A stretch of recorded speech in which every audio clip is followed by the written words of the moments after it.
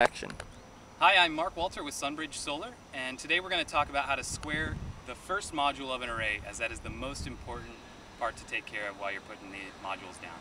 So the first few things that we did were, A, we made sure that these rails were completely straight with no wave, because that's going to affect the process that we're going to use here. And B, we also made sure that we marked on all the rails and on the roof where the module should be, so that we can know the exact height and distance on the rail so we don't run out of rail at the end.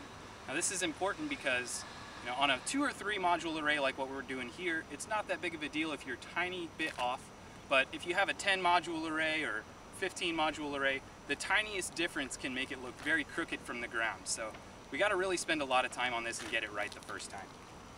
So the way we do it here is we got a string attached to the end of the rail and we've got the first corner already in because that's going to not really change the distance of the module on in terms of the height from the rail.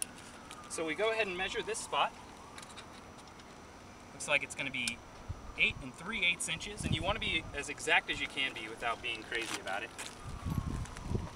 And then we attach the string to the corner of the rail here, and pull it out.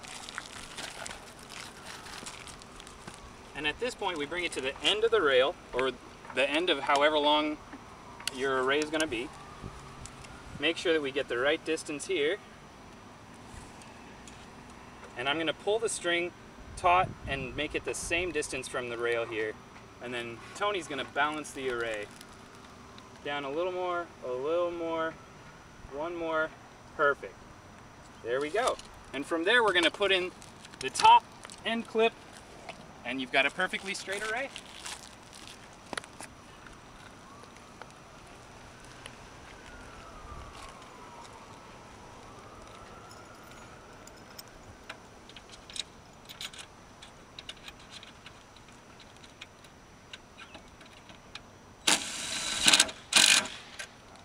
There you go.